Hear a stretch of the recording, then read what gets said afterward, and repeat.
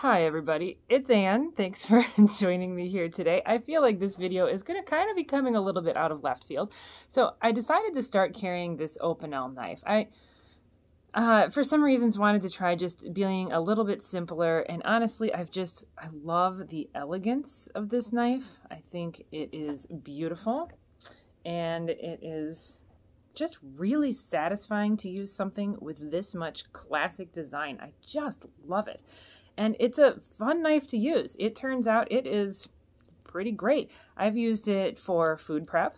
I've used it to cut up a bunch of carpeting that I needed to cut, which I was a little hesitant to use this cute little knife for that instead of something that felt more industrial, but I was really committed to limiting myself to this knife for a while. And so I used it and it worked great until it got dull, which happened pretty quickly. I got to sharpen it and that was super easy.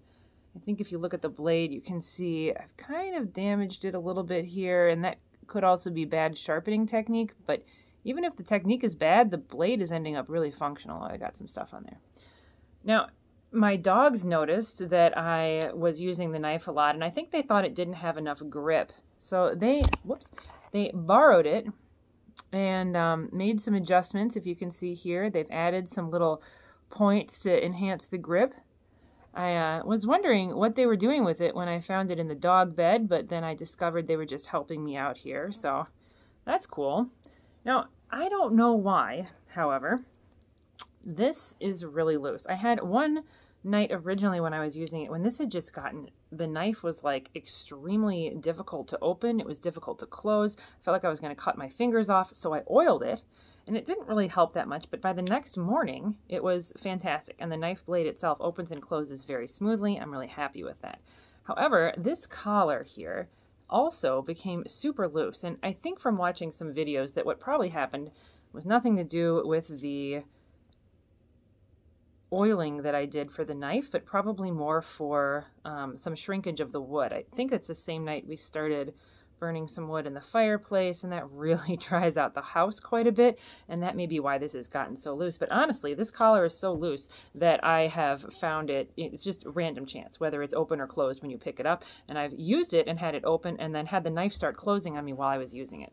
So what I need to do is tighten this collar down. And I looked online, I found a really good video that had three different methods, and it involved, in the end, putting a deck screw into some wood and using that to pop it off. And I was like, okay, I just don't feel like doing that. I tried to hit it with a mallet, which is the Opinel requested or suggested method of fixing it once you've removed the collar, but hitting it with a mallet while it was on here didn't do anything.